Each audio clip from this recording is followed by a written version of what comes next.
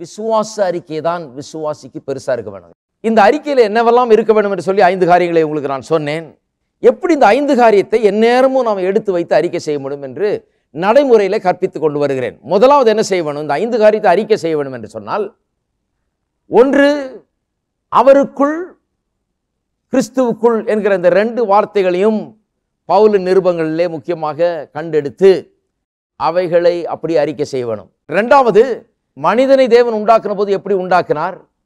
எப்படி உண்டாக்கினார்? ராஜாவை போல உண்டாக்கினார். உங்கள் ஒவ்வொருவரையும் ஒரு ராஜாவை போல ஒரு ராணியை போல அவர் காண்கிறார். நீங்கள் என்னைக்கு உங்களை அப்படி காண்கிறீர்களோ அப்போ தான் ராணியை போல ராஜாவை போல வாழப்போகிறீர்கள் போகிறீர்கள். அதை அறிக்கை செய்யணும். என்னை ஆண்டு கொள்ளும்படி அவர் உண்டாக்கினார் ஆண்டு கொள்றதுன்னா ராஜா தான் ஆண்டு கொள்ளுவான். அதெல்லாம் சொல்ல. மூன்றாவது இன்னொன்று செய்ய வேண்டும். அது என்ன?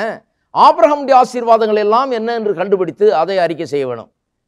நான்காவது நீங்கள் தேவனுடைய புத்திரராய் அல்லது பிள்ளைகளாய் இருக்கிறீர்கள் என்பதை குறித்து வேதம் சொல்லுகிறதே அதையெல்லாம் கண்டுபிடித்து நீங்கள் அறிக்கை செய்ய வேண்டும் ஏனென்று சொன்னால் பிள்ளைகள் தான் சுதந்திரர்கள். ஐந்தாவது நீங்கள் யார் என்று வேதம் என்ன சொல்லுகிறதோ நீங்கள் அப்படியே இருக்கிறீர்கள் என்று நீங்களும் சொல்லுங்கள். ஆறாவது confess what the word says you can do நீங்கள் எதை செய்ய முடியும் என்று வேதம் என்ன சொல்லுகிறதோ அதை நீங்கள் செய்ய முடியும் என்று சொல்லி அறிக்கை செய்யுங்கள். ஏழாவது நீங்கள் அவரோடு ஒன்றாக இருக்கிறீர்கள் என்பதை நீங்கள் அறிக்கை செய்ய வேண்டும். அவரோடு கூட ஒன்றாக இருக்கிறீர்கள் என்பதை அறிக்கை செய்ய எட்டாவதாக தேவன் உங்களுக்குள் இருக்கிறார் என்பதை அறிக்கை செய்யுங்கள். தேவன் எங்கே இருக்கிறாருங்க? உங்களுக்குள்ளே வாசமாக இருக்கிறார் என்பதை நீங்கள் அறிக்கை செய்ய வேண்டும். பிறகு ஒன்பது பரிசுத்தாவியானவர் நமக்குள் இருக்கிறதுனாலே உண்டாகிற நன்மைகள் அந்த பரிசுத்தாவியானவர் மூலமாக நமக்கு உண்டாகிற ஆசீர்வாதங்களும் நன்மைகளும் அவைகளை நாம் அறிக்கை செய்ய வேண்டும். துரிதமாக சொல்கிறேன் பரிசுத்தாவியானவர் நமக்குள்ளே இருக்கிறதுனால என்ன ஆகிறது? எதுக்கு முதல்ல கேட்குறேன் பாருங்கள் எதுக்கு இயேசு மரித்து ரத்தத்தை சிந்தி நம்முடைய இருதயத்தை பாவமர கழுவி சுத்தமாக்கி பரிசுத்தாவியானவர் வந்து வாசம் பண்ணுகிறதுக்கு ஒரு ஏற்ற ஒரு இடமாக அதை மாற்றி அவர் பரமேறி சென்று அங்கிருந்து பிதாவினிடத்திலிருந்து பரிசுத்தாவியை நமக்கு அனுப்பினார். ஏன் இவ்வளவெல்லாம் நடந்தது யோசிக்கிறீங்க? அங்கிருந்து வெத்துக்கு அவர் அனுப்பிச்சாரா இங்கே? சும்மா தனியாக இருக்கிறாங்க போய் சும்மா நீரும் கூட வரும். அவங்க எப்படி தோல்வி தான் அடைய போகிறாங்க நீ கொஞ்சம் தோல்வியில் நீர் அப்படியே கூடயே அவங்க கூட நீ தோல்வியாகவே வரும்னு நினச்சாரு கிடையாது. அங்கிருந்து ஆவியானவர் எதுக்கு அனுப்பிச்சார்? சில காரியங்களை நிச்சயமாய் நமக்கு செய்து தரும்படியாக அனுப்பித்தார். யோவான் பதினாறாம் அதிகாரம் ஏழாம் வசனம் சொல்லுகிறார். தான் இயேசு சொல்லுகிறார் பாருங்கள் நான் பிதாவினத்திலே செல்வது ரொம்ப முக்கியம்னு சொல்கிறாரு பாருங்கள் பதினாறாம் அதிகாரம் ஏழாம் வசனம். நான் உங்களுக்கு உண்மையை சொல்லுகிறேன் நான் போகிறது உங்களுக்கு பிரயோஜனமாக இருக்கும். நான் போகாதிருந்தால் தேற்றரவாளன் உங்களிடத்தில் வரார். நான் போவேனே ஆகிய அவரை உங்களிடத்திற்கு அனுப்புவேன். அப்போ இவர் யார்? இவர் வர்றது ரொம்ப முக்கியமாக நான் போகலன்னா அவர் வர முடியாது. அவர் வரலன்னா நீங்கள் வெற்றிகரமாக வாழ முடியாதுன்ற அர்த்தத்தில் தான் சொல்கிறாரு நான் போகிறது ரொம்ப முக்கியம்.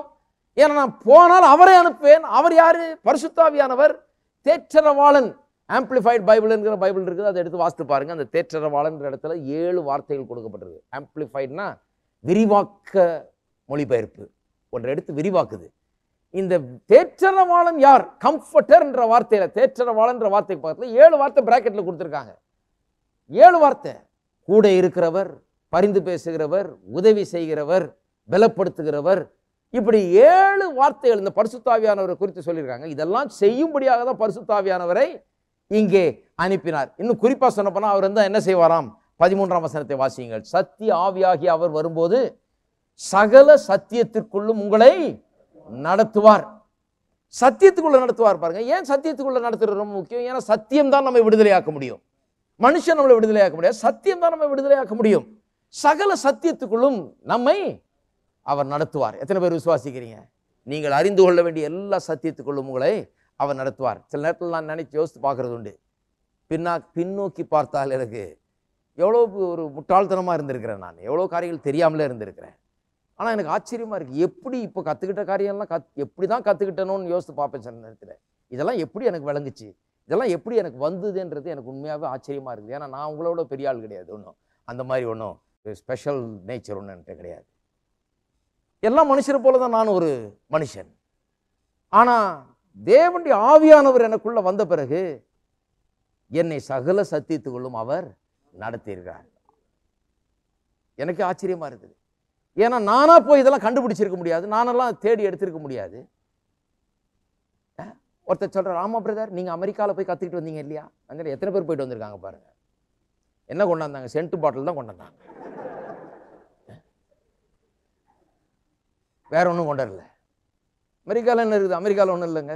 தேவ ஆவியானவர் எனக்குள்ளே இருந்து நான் அதுக்கு நன்றி செலுத்துகிறேன் கத்தருக்கு என்னை சத்தியத்துக்குள் நடத்தினார். சத்தியம் என்னை ஆசீர்வாதத்துக்குள் நடத்துகிறது. சத்தியம் என்னை விடுதலைக்குள் நடத்துகிறது. இதுதான் ரொம்ப முக்கியம் பாருங்க. ஆச்சரியமா இருக்கு. எனக்கு யோசித்து பார்த்தா எப்படி தான் இதெல்லாம் கற்றுக்கிட்டேன் எப்படி தான் இதெல்லாம் அறிய வந்தது என்று. ஆ இன்னும் ஏராளமாக இருக்கிறது என்று ஆவியானவர் சொல்லுகிறார். நான் உன்னை நடத்துகிறேன் ஒவ்வொரு சத்தியத்துக்குள்ளாக உன்னை நடத்துகிறேன். விடுதலையின் வாழ்க்கைக்குள்ளாக உன்னை நடத்துகிறேன். நான் சொல்லுகிறேன். அவரை நீங்கள் நம்பினால் உங்களுக்குள்ளே இருக்கிற அந்த ஆவியானவர் உங்களை சத்தியத்துக்குள் நடத்தும்படியாகவே கொடுக்கப்பட்ட ஆவியானவர். சத்தியம் உங்களை தொடர்ந்து விடுதலைக்குள்ள நடத்தும். வெற்றி வாழ்க்கைக்குள்ளாக உங்களை நடத்தும். சகல சத்தியத்துக்குள்ள நடத்துவார். அது மட்டும் இல்லை இன்னும் பல காரியங்கள் சொல்லப்பட்டிருக்குது. ஆவியானவர்னால என்ன நன்மை? அதெல்லாம் அறிக்கை செய்யுங்க. வாயை திறந்து சொல்ல வேணும். அவர் என்னுடைய தேற்றரவாளர் கூட இருப்பவர் உதவி செய்வர் பரிந்து பேசுகிறவர் அவர் என்னுடைய வழக்கறிஞர் அவர் எனக்கு எல்லா உதவியும் செய்பவர் என்னை கரம் பிடித்து நடத்துபவர் இப்படி அறிக்கை செய்யணும். பரிசு பரிசுத்த ஆவியானவர் உங்களுக்கு என்ன உண்டாயிருக்கிறது? என்ன ஆசீர்வாதம் உண்டாயிருக்கிறது? அறிக்கை செய்யணும். அவர் என்னை சகல சத்தியத்துக்குள் நடத்துகிறவர். அப்புறம் வேதவசனம் சொல்லுது ரோமர் எட்டு பதினொன்னுல கிறிஸ்துவை மரித்தோரிலிருந்து எழுப்பின அதே ஆவியானவர் உங்களுக்குள் வாசமாயிருந்தால் சாவுக்கு ஏதுவான உங்கள் சரீரங்களை அவர் உயிர்ப்பிப்பார். சுகவீனமாக இருக்கிறவர்களுக்கு சொல்லுகிறேன். பலவீனமாக இருக்கிறவர்களுக்கு சொல்லுகிறேன். உங்கள் பலவீன சரீரங்களை உயிர்ப்பித்து உங்களை அந்த படுக்கையிலிருந்து வியாதி படுக்கையிலிருந்து எழுப்பும்படியாக ஆவியானவர் உங்களுக்குள்ளே இருக்கிறார்.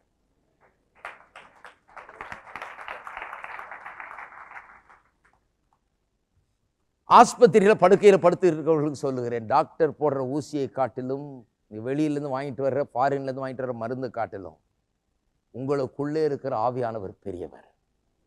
மரித்தோரை உயிரோடு எழுப்புகிற ஆவியானவர் அவர். அவர் உங்களுக்குள் வாசமாயிருந்தால். எத்தனை பேர் சொல்றீங்க? எனக்குள் வாசமாக இருக்கிறாருன்னு அவர் யார் அவர்? மரித்தோரை உயிர்ப்பிக்கிறவர் அவர். உயிர்ப்பிக்கிற சக்தி அவருக்கு இருக்கிறது. மரித்தோரையே உயிர்ப்பிக்கிறாருன்னு சொன்னால் வியாதி படுக்கையில் கிடக்கிறவனை எந்திரிச்சு நிற்க வைக்க மாட்டாரா? நடக்க வைக்க மாட்டாரா? வாழ வைக்க மாட்டாரா? மரணத்தின் பிடியிலிருந்து விடுவிக்க மாட்டாரா? நான் சொல்லுகிறேன் மரித்தோரை உயிரோடு எழுப்புகிற அதே ஆவியானவர் உங்களுக்குள் வாசமாயிருந்தால் சாவுக்கு ஏதுவான உங்கள் சரீரங்களையும் அவர் உயிர்ப்பிப்பார். அப்போ உங்கள் பலவீனத்தில் அந்த வார்த்தைகளை பேசுங்கள். எனக்குள்ளே ஆவியானவர் ஜீவ ஆவியானவர். அவர் ஜீவனை கொடுக்கிறவர் பலனை கொடுக்கிறவர். என்று உச்சந்தலிலிருந்து உள்ளங்கால் வரை ஆரோக்கியத்தினால் நிரப்புகிறவர். என்னுடைய எலும்புகளிலும் என்னுடைய நரம்புகளிலும் என்னுடைய தசையிலும் என்னுடைய ரத்தத்திலும் என்னுடைய உடம்பெல்லாம் ஆரோக்கியத்தை உண்டாக்குகிறவர் அவர். ஜீவ ஆவியானவர் எனக்குள்ளே இருக்கிறார். அவர் உயிர்ப்பிக்கிறார் என்னை பலப்படுத்துகிறார். இருக்கீங்களா? அதை விசுவாசிக்கும் போது கொஞ்சம் தள்ளாடி நடக்கிறது கூட நல்லாயிடும். நடைய மாறிடும்.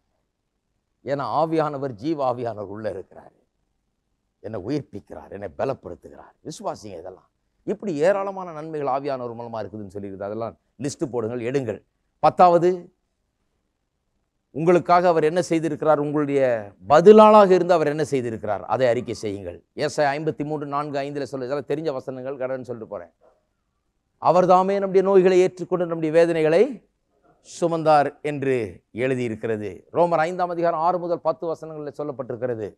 நாம் பாவிகளாக இருக்கையில் நமக்காக கிறிஸ்து மறித்தார் அக்கிரமக்காரர்களாக பாவிகளாக சத்துருக்களாக இருக்கையில் கிறிஸ்து நமக்காக மறித்தார் என்று சொல்லப்பட்டிருக்கிறது. அதெல்லாம் சொல்லிட்டு ரோமர் எட்டு முப்பத்தொன்னுல சொல்லப்பட்டிருக்கிறது. If God be for us the for வார்த்தை. உங்கள் வருது பாருங்க. ஃபாரஸ் அஸ் அவர் என்னுடைய ஸ்தானத்தை எடுத்துக்கொண்டபடினாலே எனக்கு பதிலாளாய் மாறிவிட்டபடினாலே என்னுடைய சப்ஸ்டிடியூட்டாக அவர் மாறிட்டதுனால என்னுடைய ஸ்தானத்துக்கு அவர் வந்து விட்டபடினாலே என்னுடைய பாவத்தை அவர் சுமந்தபடினாலே என்னுடைய தண்டனை அவர் ஏற்றுக்கொண்டபடினாலே என்னுடைய ஸ்தானத்துக்கு அவர் வந்து விட்டபடினாலே if God be for us தேவன் இப்படி எனக்காக இருக்கும்போது எனக்கு எதிராக இருப்பவன் யார்? என்ன அருமையான வார்த்தைகள் பாருங்க. பதினோராவது இயேசு கிறிஸ்து அவர் நம்முடைய ஆண்டவராக இருக்கிறார் என்பதை நாம் தொடர்ந்து அந்த அறிக்கையை நாம் கடைபிடிக்க வேண்டும். இயேசு ஆண்டவர் அவர் ராஜாதி ராஜா கத்தாதி கத்தர். So you must confess the lordship of Jesus இயேசு உங்கள் ஆண்டவராக இருக்கிறார் என்பதை அறிக்கை செய்யணும். ஏன்? அநேகர் வந்து பாவம் தங்களுக்கு என்ன செய்தது என்பதை பெருசாக அறிக்கை செய்துட்டு இருக்கிறாங்க. பாவம் செய்ததை காட்டிலும் இயேசு ரட்சிப்பின் மூலமா அதிகம் செய்திருக்கிறார். ரோமர் ஐந்தாம் அதிகாரம் இருபத்தோராம் வசனத்திலிருந்து வாசித்து பாருங்கள். பாவம் என்ன செய்தது? இயேசுவின் மூலமா உண்டாகின ரட்சிப்பு என்ன செய்தது? ரெண்டுத்தையும் கம்பேர் பண்ணி தான் ஒரு பத்து வசனம் வருது அப்படியே வரிசையா. பாவம் செய்தது என்ன? இயேசு செய்தது என்ன? நான் சொல்லுகிறேன் பாவம் அழித்தது இயேசு அதை விட ஆயிரக்கணக்கான மடங்கு வல்லமையோடு உங்களுடைய வாழ்க்கையை கட்ட அவர் முடியும். அப்பேற்பட்ட காரியத்தை செய்திருக்கிறார். ஆக பாவம் என்ன செய்தது என்பதை பற்றி பேசிகிட்டு இருக்காதீங்க. பாவம் உங்களை அழித்திருக்கலாம் ஒருவேளை. ஆனால் பாவம் அழித்ததை காட்டிலும் மீட்பு உங்களை உண்டாக்குகிற வல்லமை உள்ளதாக இருக்கிறது. பல மடங்கு வல்லமை உள்ளதாய் அது இருக்கிறது என்று வேதவசனம் நமக்கு போதிக்கிறது. பன்னெண்டு. குயிக்காக சொல்கிறேன் சில ஐடியாஸ் தான் கொடுக்க முடியும். எப்படி அறிக்கை செய்கிறது என்று சொல்லி. பிசாசின் மேலே உங்களுக்கு இருக்கிற வெற்றியை எப்போதும் அறிக்கை செய்ய வேணும். பிசாசு பெரியவன்றதே பேசக்கூடாது. அந்த வார்த்தையை வாயில வரக்கூடாது. ஆ பில்லிசூனிய பிரதர் ஆ மந்திரம் அந்த இதெல்லாம் வேற வரக்கூடாது. பிசாசின் மீது உங்களுக்கு இருக்கிற வெற்றி. எல்லாரும் சொல்லுங்க பிசாசின் மீது எனக்கு இருக்கிற வெற்றி. இதை அறிக்கை செய்து கொண்டே இருக்கணும். கொலோசியர் ரெண்டு பதினைந்து சொல்லுகிறது இயேசு மறித்த பிறகு கல்வாரி சிலுவையில் பாதாளம் வரை சென்று பிசாசையும் அவனுடைய சேனைகளையும் வெளியரங்க கோலமாக்கி அவைகளின் அந்த சக்திகள் மேல் வெற்றி சிறந்து வெளியரங்க கோலமாக்கினார். அங்கே பெரிய ஒரு போராட்டமே எங்கள் இதில் நடந்திருக்குது. எங்கள் பாதாளத்தில். போராட்டம்னு சொன்னால் எந்த அளவில் நடந்தது?